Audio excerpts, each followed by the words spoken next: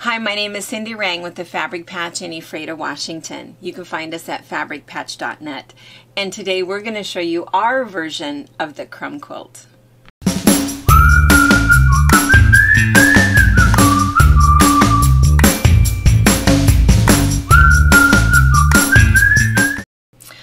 All right, so my daughter and I have owned our quilt shop for 22 years, and we have been making our version of the crumb quilt for 22 years.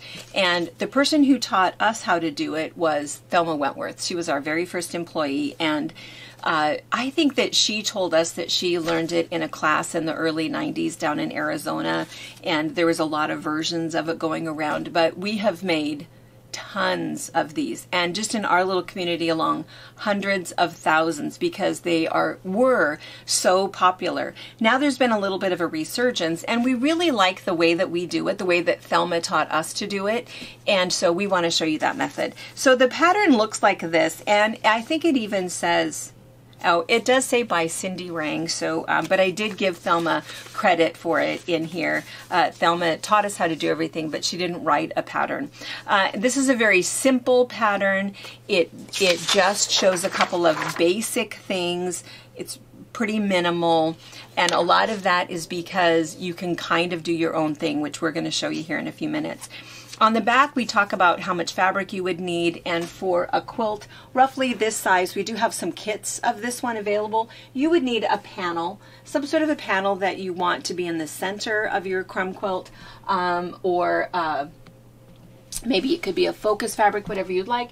And then roughly, you're going to need about three yards of fabric. So if you have a bunch of leftover bits and pieces that you want to use, that's fantastic.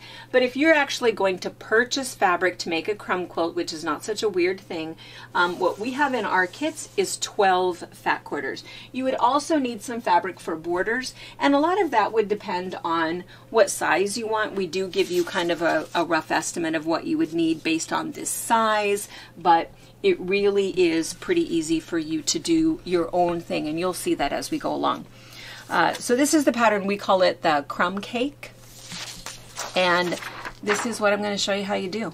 Uh, how you do it. So um, first thing that you're going to start with is your focus fabric. So again, if you look back here, you can see that there's all kinds of strange pieces because every once in a while you get a panel that isn't just these perfect 10 inch squares or perfect six and a half inch squares and you sort of wonder what it is you're supposed to do with that.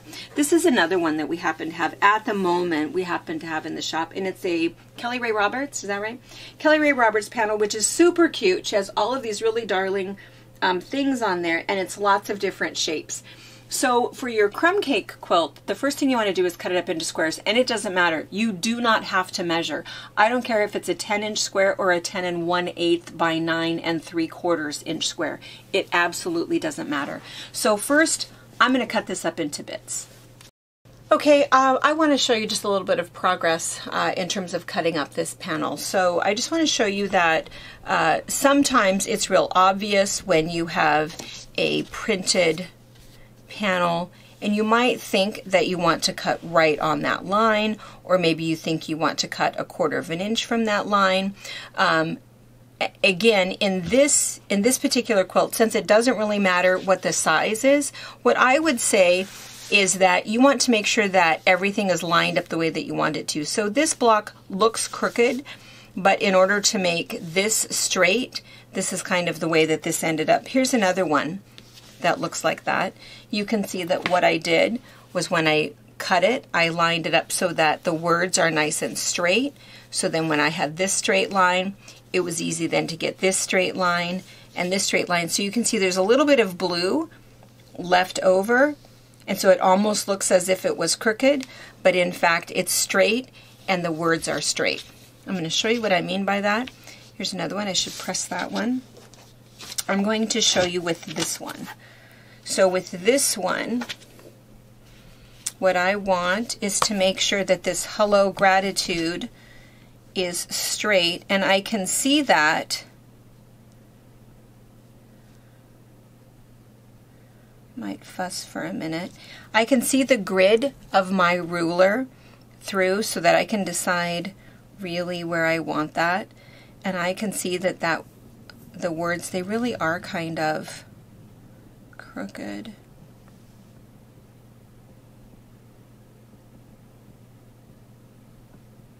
I think that's what I'm going to do anyway. You can decide for yourself because again, in this particular quilt, it doesn't make any difference how big your squares are. I'm going to go ahead and make my words straight. So you can see that it looks like I'm cutting this crooked. I'm going to cut that off. Now that I have this straight edge as my marker, I'm going to come over and I'm lining that up on one of the lines with my ruler. And I'm going to come over as far as I can. I really don't want to nip off too much of my butterfly wing. So I have a straight edge, I have my 90 degree angle.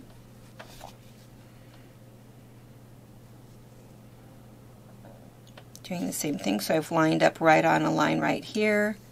And I'm really not cutting off very much there. That was hardly worth cutting.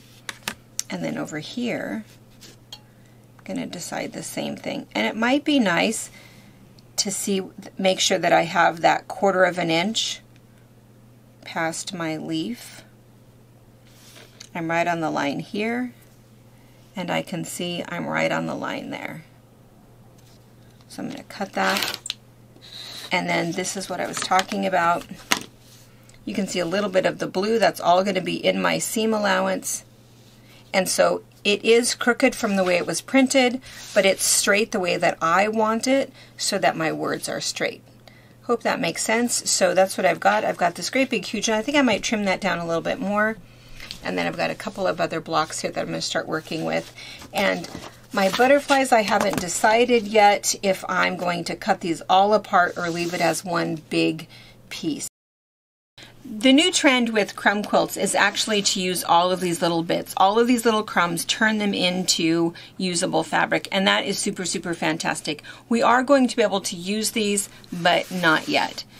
You can also use lots of just leftover pieces if you have some pieces that are a little too small for anything else or something else that you can cut up. You can also use these, but not quite yet. The way that we wrote our pattern was to start out with kind of fat quarter size.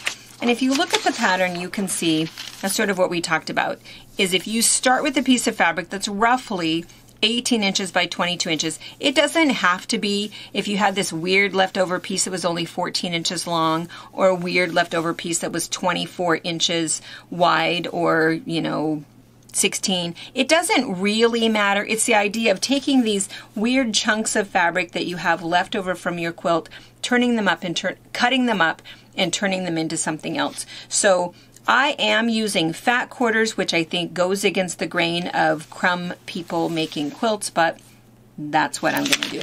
And that's what we do. So fat quarter-ish size, and of course a fat quarter is a half of a half a yard.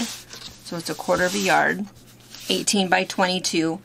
But again, whatever you have, if the piece you have is something that was cut kind of weird, something that was cut where you just cut a couple little chunks off. What are you going to do with something that's not quite a fat quarter? This is what you're going to do. So what we suggested was that you cut it up into strips. And roughly what you're going to do is cut it into one, one and a half, two, two and a half, three, three and a half, and then repeat. If something happens and you cut that wrong and you accidentally cut a one inch and then another one inch, nobody is going to care about that because these are just sort of suggestions. So I'm just going to clean that up a little bit. Oh, maybe change a blade.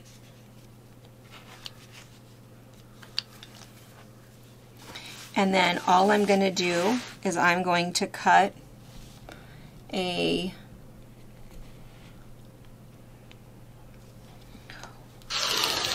one inch strip. Oh, I definitely need a new blade. So we cut a one inch, we're gonna cut a one and a half, then we're gonna cut a two,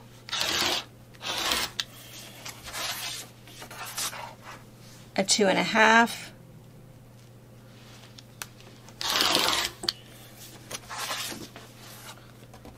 three. And I usually, I have to say that I tend to usually not go bigger. The pattern says to go up to a four inch. I tend to not go bigger than a three. After I've cut my three inch, and again, depending upon how much fabric I have left over, if I'm getting down near the end and all I can get out of that to be able to use up every crumb is to cut a two inch strip, then that's what I'll do. It doesn't really matter. But otherwise, I just kind of start over. So I'm going to start over. Um, oh, I should have started over with my one inch, but I started over with a one and a half inch.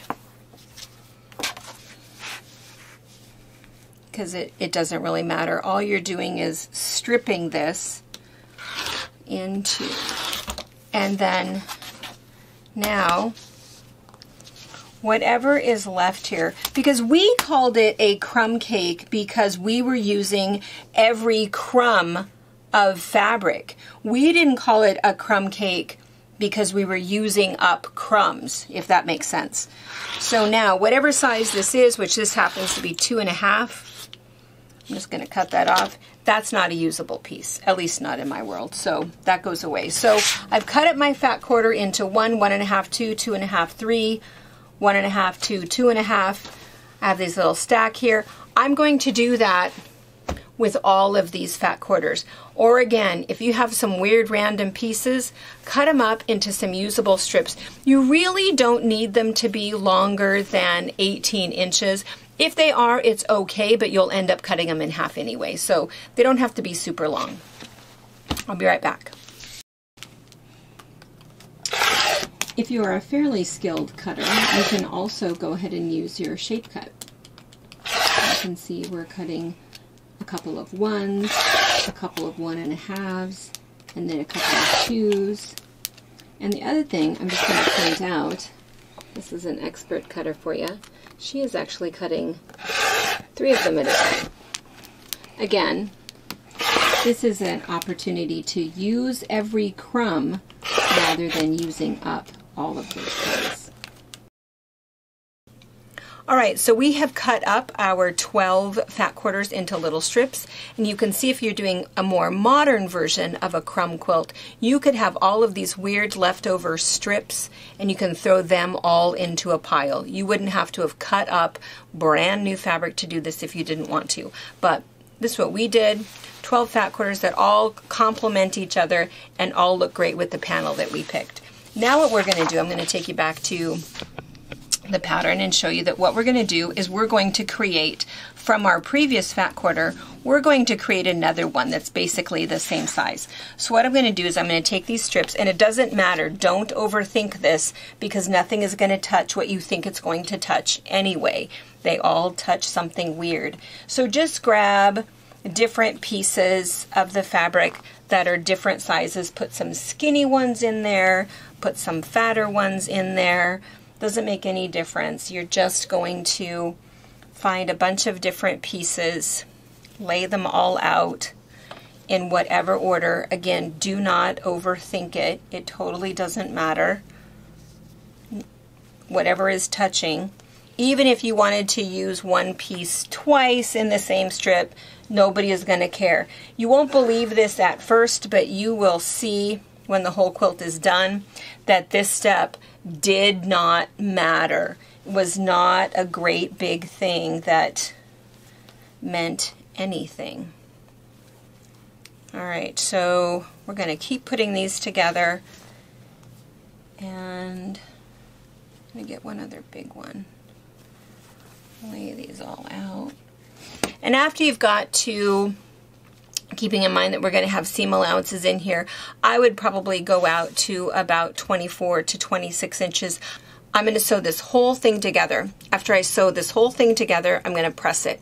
The tip with sewing this together is I'm going to sew first this way with my seam allowance and then I'm going to sew the other way. And then I'm going to sew this way and then I'm going to sew the other way. The reason that you do that is if I'm just going to flip this over at my sewing machine and sew this way, flip this one over and sew this way and keep working, I can get this little thing that we affectionately refer to as a wow in the fabric because it's just the way that, that the feed dogs are pulling it.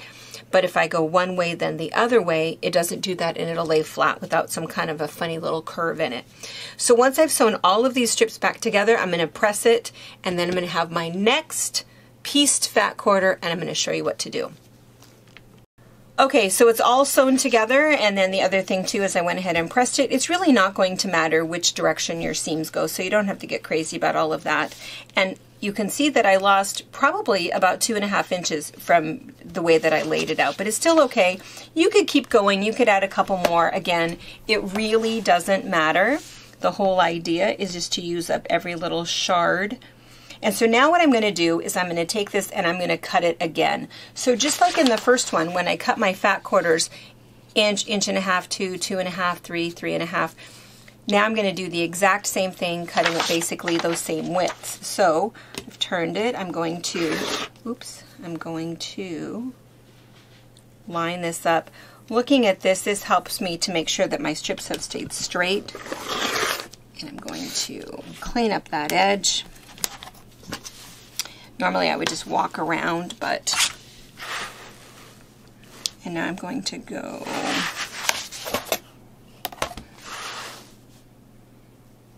If you have a shape cut, you can use that. Inch.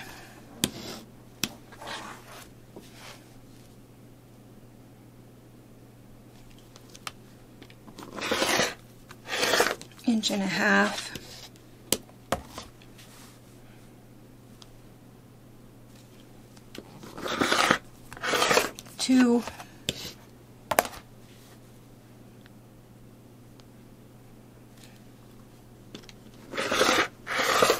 two, and a half, three. You can go three and a half. I think I said before that the pattern says um, three and a half and four inch and then you start over, but it doesn't really matter. I started over with inch and a half, two, and then sometimes as you're cutting, typically the rule of thumb when you're cutting strips is that about the time you get to the width of your ruler, your strip will start to get crooked. So do you see that? Where it's kind of having this little wow in it. So I'm going to show you another way. So typically then what would happen is I'm going to turn this around and once again straighten this up. So I'm just going to line up my ruler with my seams and see how much we're taking off. You, you don't, it's not that anybody did anything wrong, it's just what happens is some sort of weird strip physics. I'm going to go back to, I don't know where I left off, I'm just going to go ahead and do a two.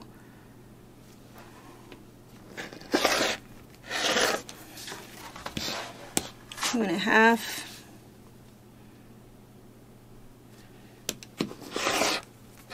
And then now I would do a three, but let's just three see what I can have, what I can get. Again, just to use up every crumb. And it looks like it's actually another two and a half. That way I can use up everything. All right. So now I've got my little weird little strip pieces. Now comes the fun part. So all I've done really is I took perfectly good fabric, cut it into strips, sewed it back together, and made perfectly good fabric that is kind of fun and little bits. So now what I'm going to do is I'm going to basically log cabin around my panel pieces. So I'm going to take this one and just decide how I want to sew that. And a log cabin just means, of course, that you're sewing the bottom on. I would cut that off. Sew the next strip on, cut that off. So the next strip on, cut that off. So the next strip. And you just keep working your way around. And the idea is that we're going to keep doing that all the way around until we get up to a fairly large square. And I sort of suggested a 14 and a half by a 14 and a half. If you wanted to make them 18 inch squares, it doesn't really matter. Let's go ahead and look up at this one again for a second. And it might be easier to see one that's done. So let's just look at this block for a second. So you can see this was the first strip that was sewn on, right? And then the next strip sewed onto here. The next strip, the next strip, next strip. So it just keeps coming around. And the block, I don't know if you can tell, is right here. See this little four intersections here? Comes down to here and over to here. So here's a block. This block right here, because of the size of it, it only has one strip. So what we did is we sewed one strip on the bottom, one strip on the top, and then just sewed a bunch of rows to get it up to that, because it was already 14 and a half. Now we just had to make it 14 and a half wide. And then look at this one over here. This one has just two strips on this side and about five strips on this side. So you can kind of position them so that everything is not exactly in the center. The other thing is you might even just decide to mix it up. Maybe you have a panel that doesn't have nine little squares on it, so you can put something else in the center. It doesn't matter. It's not going to make any difference. It just looks like lots of little bits, and again, that's why we called it a crumb cake, because we took all of this fabric, used every little crumb, and it ends up looking kind of cool. I have one other one I'm going to show you just for a second. This one is a very old one out of flannel. And this particular one was a really cool panel. This is probably 15 years old, so uh, there's no panel like it. But this particular panel had like a picture search on it. So I don't know if you can see that. It says what the sorts of things that you're supposed to find. And then the other part of the panel, I'm going to drop it. You can see, did I drop it, Tisa? Yes, okay.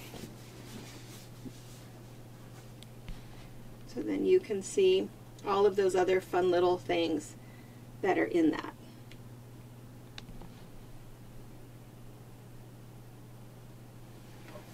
So kind of a fun thing. You can also make a crumb cake with t-shirt blocks. You can make it with photo blocks. You can make it with pieced blocks that you're just over. Maybe you only made three of them, but you have some other kind of cool focus fabrics that would go with it.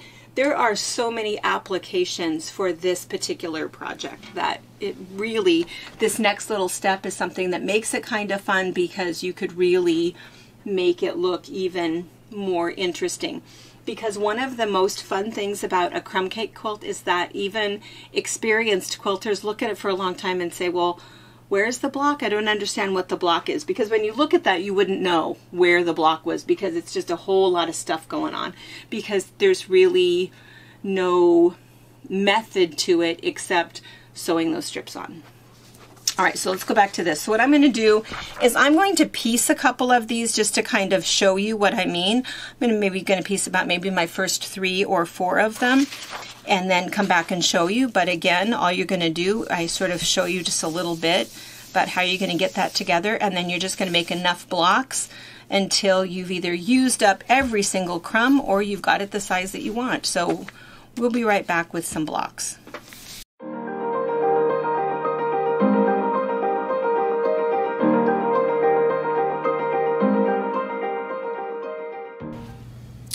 So this block is done. You can see what we did here. I'm just going to show you a couple more. You can see that it really doesn't matter what size that center block is.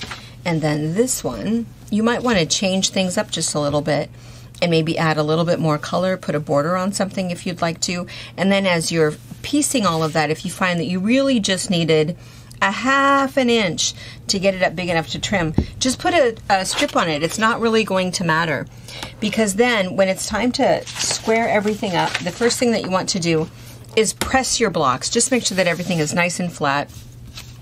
Your seams are going to go in odd directions and nobody's going to care about that because you're not going to do any nestling except for when you sew your blocks together. So what you're going to do, let me move this for a second so you can see on your ruler, I like to mark my ruler so that I'm pretty consistent and I don't lose track of what I'm doing. This is a big 15 inch square up ruler. We're going to square our blocks to 14 and a half. If you're doing some other project and maybe you're making a crumb quilt border or you're making some crumb quilt blocks, you can obviously do them any size you want, totally doesn't matter. But what I'm suggesting for this pattern, just to make it easy, is that you make 14 and a half inch blocks. And also, if you've decided to do something smaller, it's not that you couldn't kind of turn something and make some wonky blocks if you want to really make it crazy. But for me, I'm just going to trim these down to 14 and a half. You can see that this is where my 14 and a half is. So when I'm squaring up a block, I just want to make sure that I'm trimming on all four sides so that I'm able to make this nice crisp block. So I'm going to trim here.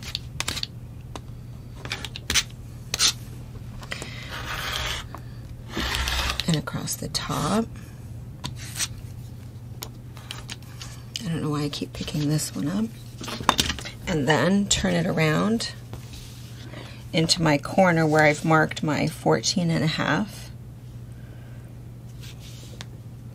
Line that up on my 14 and a half and 14 and a half.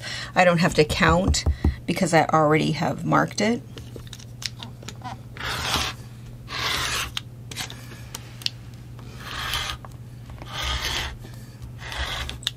And I think that these fun little occasional stripes are really fun. If you don't like that, if you feel like that's a little too much in your face, you don't have to do it that way. You could add something pieced, it would be perfectly okay.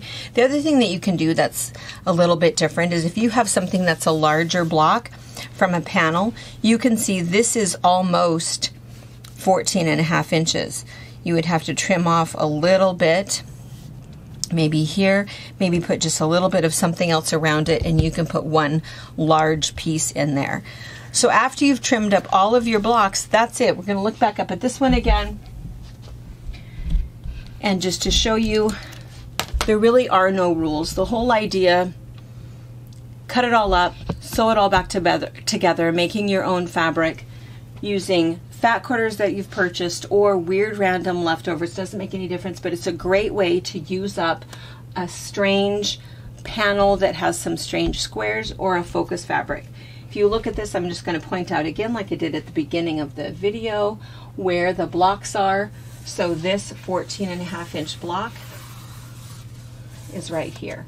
This one is right here. This one has some kind of cool stripes in it. Just some cool fabric in there. Just put in something just to keep people guessing. So you can make as many blocks as you want. What we wrote in the pattern in terms of 12 fat quarters and a panel, you will have a bit of fabric left over is three blocks across by four blocks down. You probably really have enough fabric to do 16 blocks.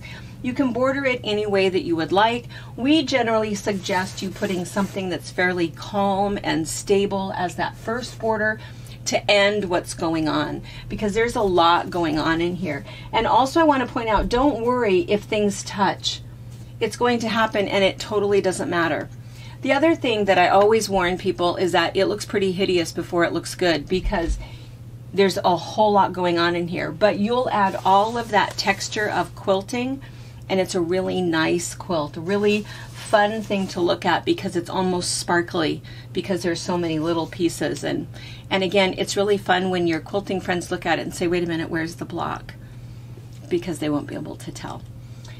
All right, I hope you have uh, enjoyed our our version of the crumb cake quilt, and um, I think that you're going to make a lot of these. Thank you for watching our video. We invite you to leave a comment, hit the like button, or better yet, subscribe to our channel so you never miss an episode. You can also visit our Instagram, Twitter, Facebook, or Pinterest pages, or find all of those things and our online store at fabricpatch.net.